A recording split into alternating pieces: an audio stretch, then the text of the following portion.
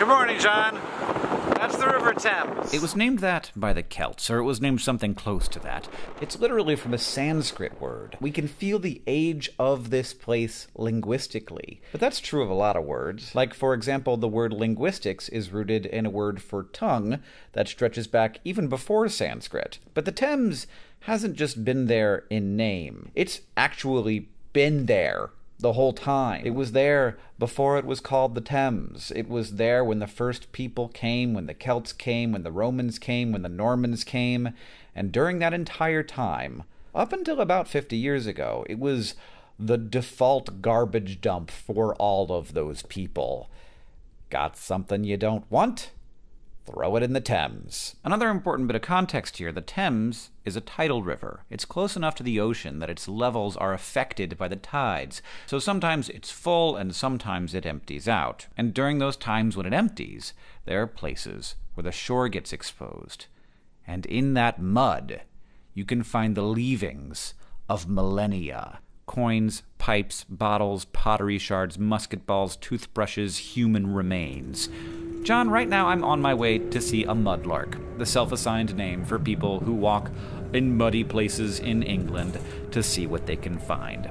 This mudlark has a YouTube channel, link in the description, and I watch that channel and I love it, and I find myself in the enviable position of being able to fairly easily get in touch with and meet the YouTube creators that I absolutely love. So I wanted to do it. Oh, here we are. Do your neighbors know you're a weirdo?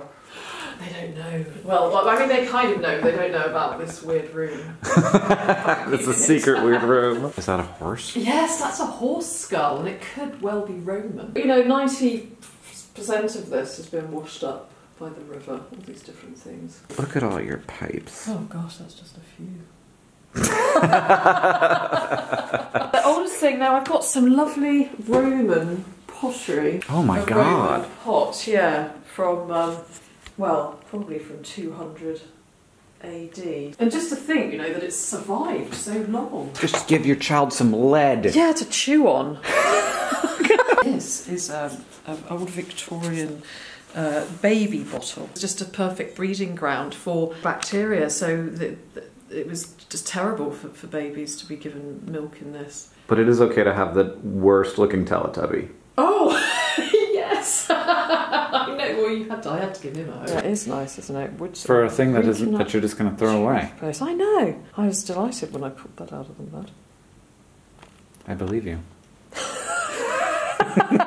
I'm in London for VidCon, and it's hard not to feel the context of history in this place. I know that's probably not true if you live here, unless you're the kind of person who dips their hand into the banks of the Thames River to see what comes out. But I feel it, and it's also hard for me not to feel the history of my own life and my own industry and work when I'm at VidCon. And it's good to have a chance to think about what we will leave and are leaving behind how much more we are creating and what pieces of it will be found in the future and what they will mean to the people who find them. I don't think about that a lot. It's probably best not to think about it too much, but maybe I should think about it some. John, I'll see you on Tuesday. Yeah, I'm in the airport hotel, so I gotta wait for a spell. There's something high in the sky. I'm waiting for the plane to go by. Waiting for the plane to go by. Waiting for the plane to go by. There's people flying in the sky.